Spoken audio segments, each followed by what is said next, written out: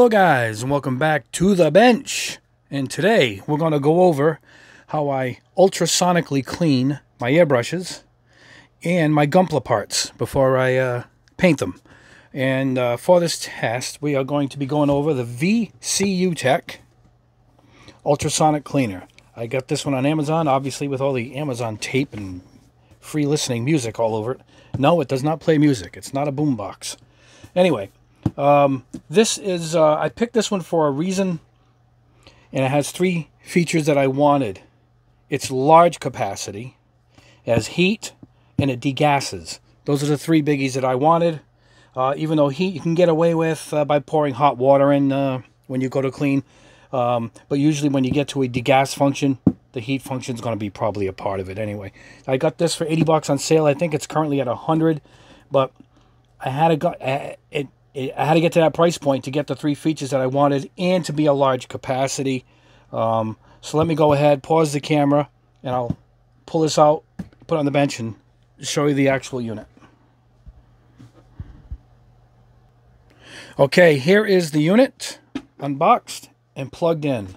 Um, I'll put my hand here so you guys, there you go. It always uh, defaults to 179 seconds.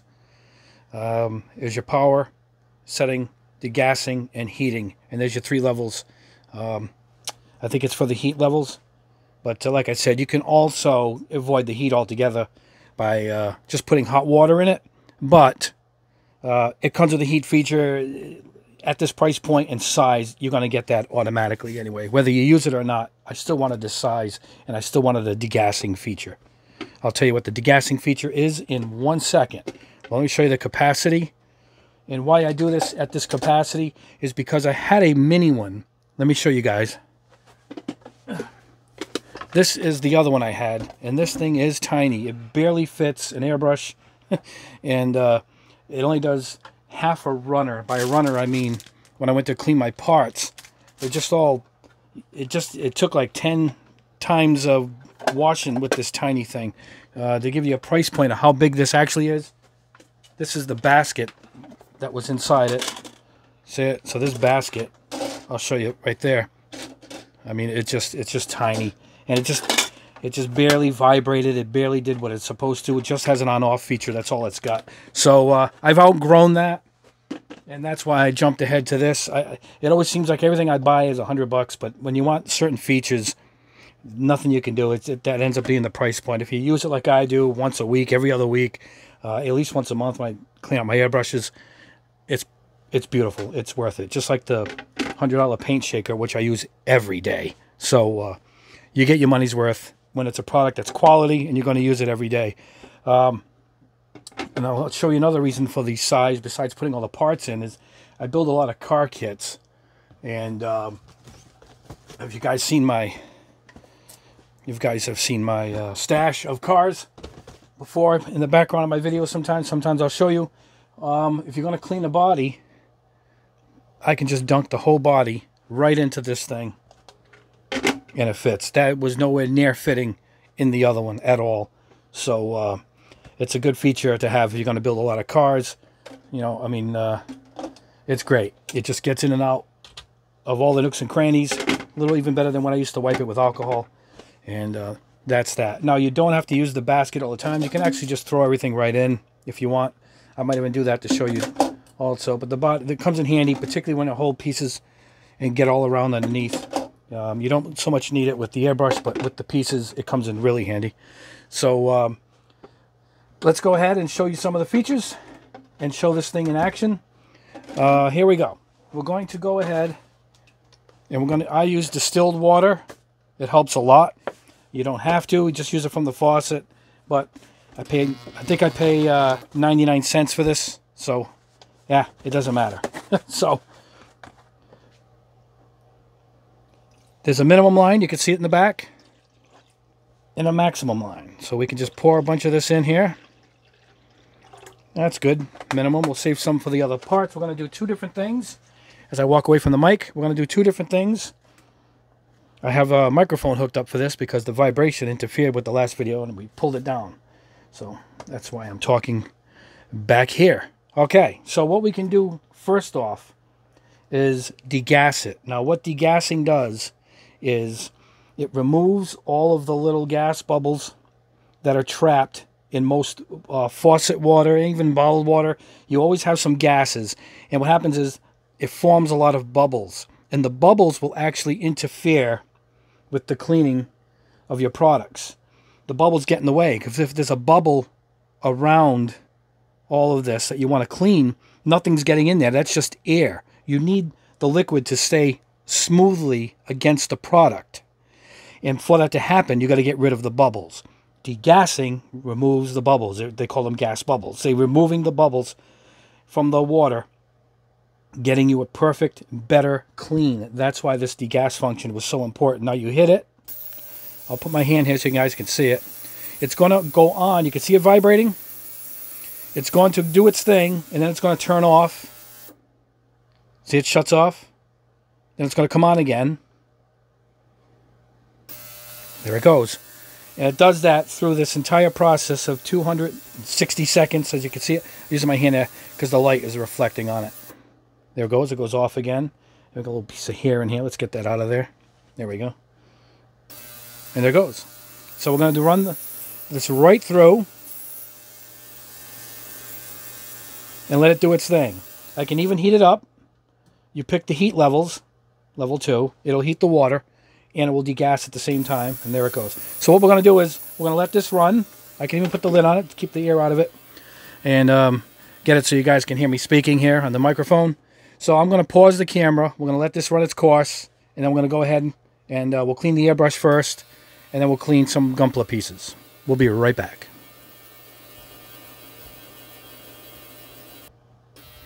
Okay, guys, here we are. Welcome back.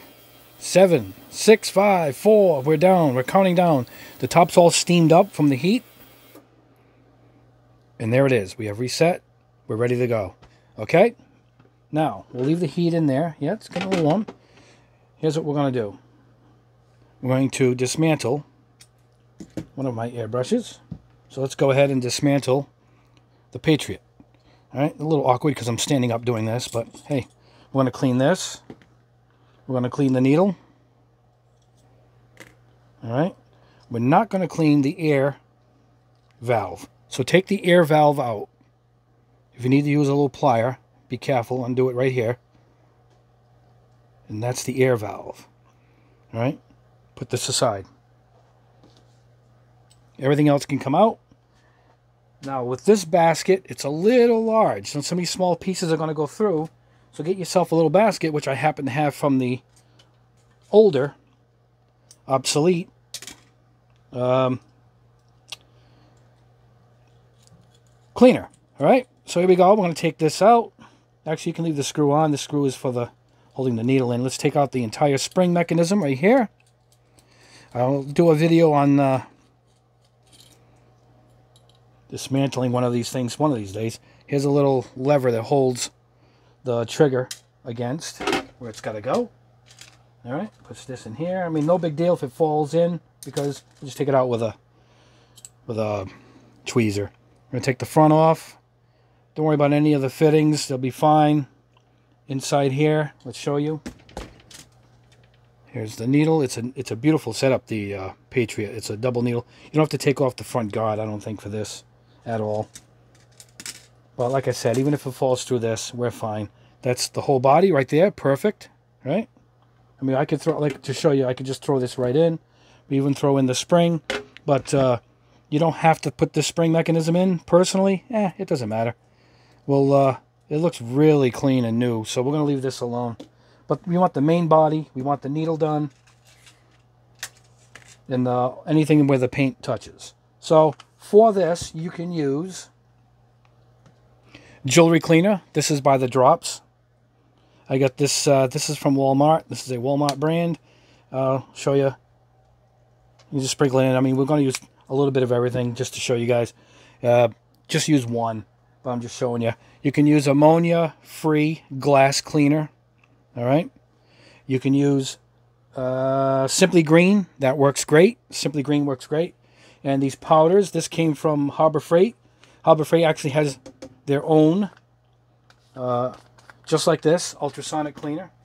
But these powders work good too. So is Barkeeper's Friend. It's it's a powder. it does the same thing. It dissolves. You know, we're going to uh, we're going to sprinkle this a little bit in. You don't need a ton. The actually the ultrasonic cleaner does most of the work. Sorry guys, I bumped the camera as I'm standing up here. All right. All right, we're going to blend this up. Just get it to dissolve. It'll actually dissolve all the way once we turn it on and go through the motions of the ultrasonic cleaning.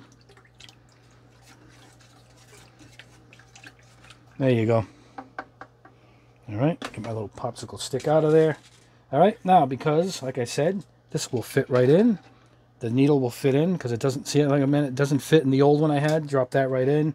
You can actually throw this right on the bottom too. And we're going to go ahead and clean this baby right up. We're going to set it. That's a good time right there. We'll just turn it on. I'm showing you the time. And you can see the pieces dancing around in there without me touching them. And that's uh, the system doing its work. Uh, like I said, you don't really need the basket. I'll do it to save time when I pull it out to show you guys. Uh, otherwise, you can just use a set of tweezers, take everything out. Doesn't matter if it touches the bottom, particularly if it's the airbrush. With the uh, with the Gunpla pieces, I say use the basket. Keeps it off the bottom, gets a little more in there. But with the metal, it goes right through. You can see the vibrations right here. You can go ahead and cap it up. And I hope you guys can still hear me through this mic. All right, we're at 242. We're going to let this run its course. I'll pause the camera. We'll take everything out. We'll put it in the dehydrator to dry it up. Anyway, guys, where are we here? 233. All right, let me pause the camera, and we'll be right back. All right, guys, here we go. Five, four, the old countdown. She's done. Resets back to 280. You can see the steam from the warmth of the heated water. Let's put this out of the way. And there we go. All right, let's get ourselves a paper towel. All right, we're going to put the paper towel on my dehydrator tray. And let's go ahead and take this out. Yeah, now we can just dump it right on there and put this aside. All right. Okay. The body of the airbrush and the needle. Came out really nice. I can see already it's cleaned. All right. Little bits of stuff in the water. It's hard for you guys to see, but it's a little bit floating around in there. It looks good. They cleaned up really well. What I'm going to do is dry this off, you know, much as I can with the paper towel here. The needle's actually easy. You don't even have to put that in the dehydrator. Just wipe it. And I'm going to put this in the dehydrator, let it dry all the moisture out.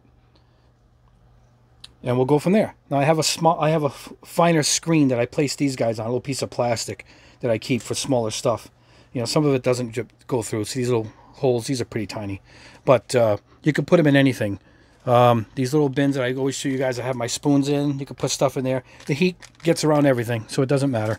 So let me pause this. I'll put this in the dehydrator. We're going to clean off some Gundam parts. I'll empty this water out too in the meantime. All right, guys, we are back. Another batch of water is going in. I emptied it out. So we're going to put in some more water. This time we're going to clean the Gunpla pieces. We'll show you how we do that. Go up to the minimum line. There you go. That is good. All right. Now for this, I'm going to cut a bunch of these out right here. Let's go ahead. Open that up. Right. I'm going to cut these right off of this runner. Don't need to put the probably caps in there, right? Just these. So I'll cut these out. We're going to mix these in to the water. Here we go. First of all, use anything, like I said, um, you can get your hands on. I'll use uh, a couple of drops of this dishwasher liquid. That's personally, I think, the best way to go as far as uh, pieces go. Just any kind of dishwasher soap, uh, any kind of hands, any of that soap will work. Even the, even the ones you wash your hands with, if that's what you have, put a squirt in there, you're good to go. Now you're going to mix it up. All right.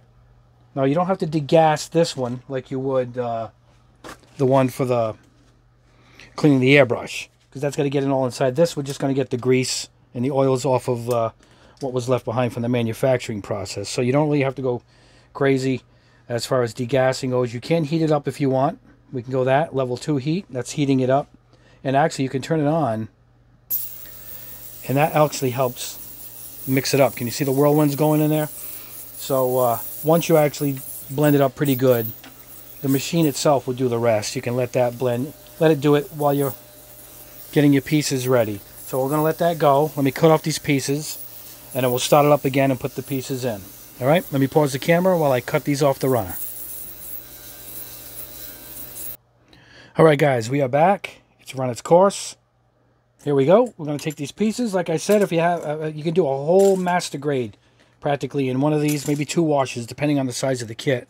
You know, I just want to use these so you guys can see it. They're good sized pieces. You know, we're going to submerge them and close these in here. We're going to turn it on. You can see the pieces are dancing around in there already. Put the lid on. And two minutes will do it.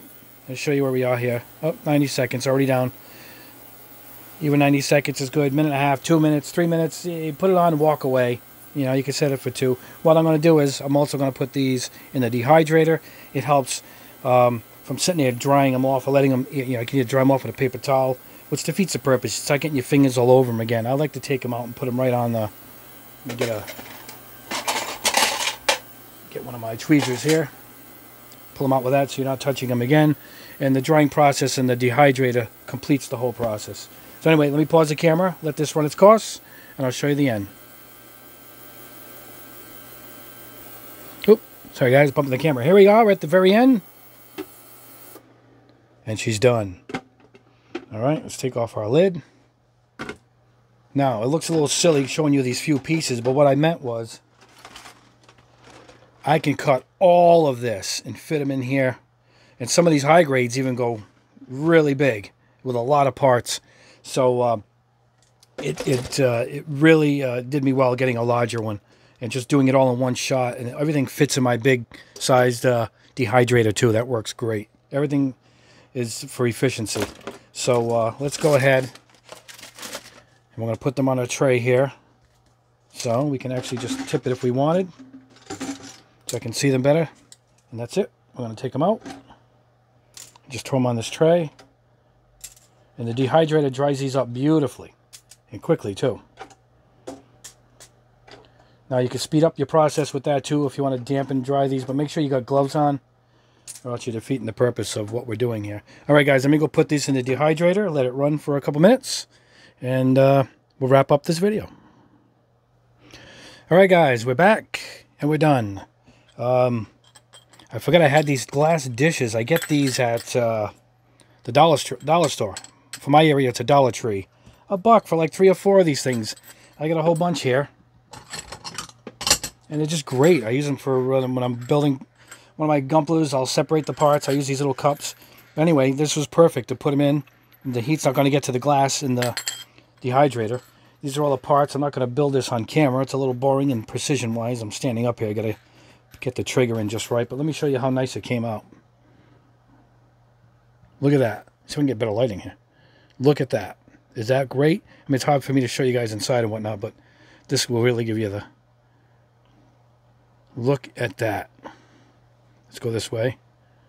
Isn't that awesome? So, if you want to make sure on your little nozzle part, let's get the nozzle out of here. And this particular airbrush, the nozzle is, a, is just a two-piece simple thing. You can get these dental cleaners. I get these at Walmart. They're for teeth. They're sensitive.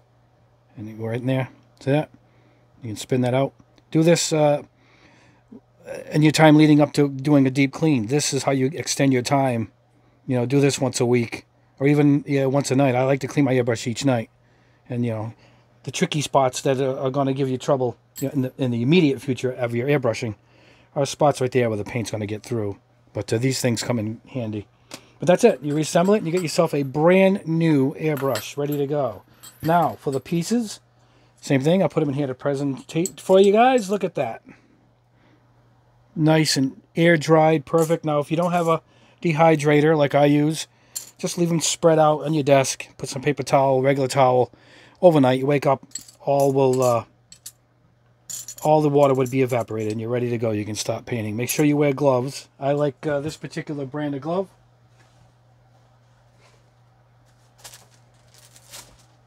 These X3 blacks. I get these on uh, Amazon. Uh, I went with a small because I like them skin tight. I, I can work with the pieces better. Uh, and a medium is good too. But uh, once you start working, once you've cleaned them, make sure you keep your gloves on. You'll be defeating the purpose of degreasing them. All right, guys, let me pause the camera, get this off the bench, and let me wrap this up with my giveaway. All right, guys, I got a few extra of these uh, Gundam Breaker Battlelog kits. I got like three or four extras of each one. So uh, what I'm going to do is I'm going to give one away a week. Um, starting with this uh, 00 Command Qan[T]. Real nice looking suit there. Look at that. Isn't that great? Really good. Not many dark color ones, so it looks great. It really in uh, military looking too with the missile launchers. It's a great looking kit. Anyway, Anyway, guys, like the video and leave a comment below. And I'll use a comment picker and randomly pick somebody who's going to get this shipped to their house free. Uh, I'll, I'll uh, pick a winner within a week because next week we're going to do another one, a whole different kit. So uh, stay tuned for that. Anyway, like I said, like the video, leave a comment below. And uh, I will randomly pick a winner from the comments section. And I also want to thank you guys for the success story that was my first paint lineup. My uh, Mecha Empire lineup of paints. And the first set was this anodized aluminum set. If you haven't watched the video, go back and watch it.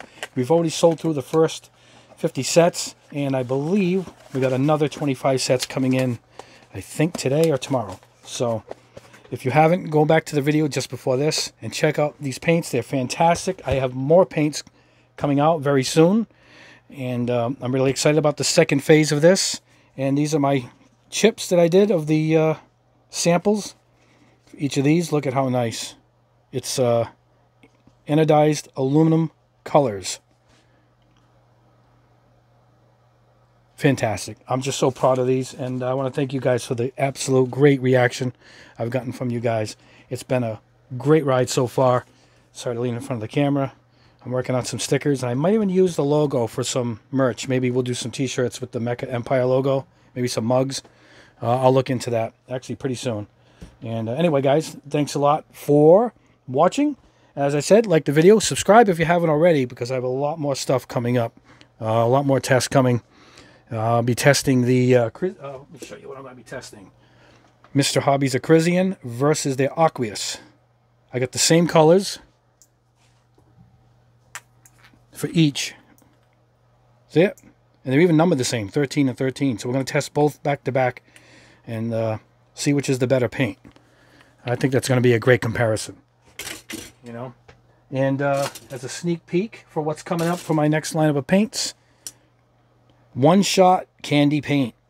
Nothing involved. You just shoot it once. There's no base coat. That's the end result out of the bottle. How great is that? So I'm working diligently on that coming up with uh, the right colors to do and the right mixtures. Anyway, guys, we've spoken enough. Don't forget, uh, if you want that uh, particular ultrasonic cleaner I showed, I'll put a link below to that exact model. I got it on Amazon, and it's been a workhorse. It's a great product, and um, you can't go wrong with it, and it's worth having, particularly if you're an airbrush guy and you're building kits. Works for both. Anyway, guys, thanks a lot. We'll see you guys in a few days with another video. Don't forget to comment so you can get a shot at winning that kit. And I'll see you in the next video.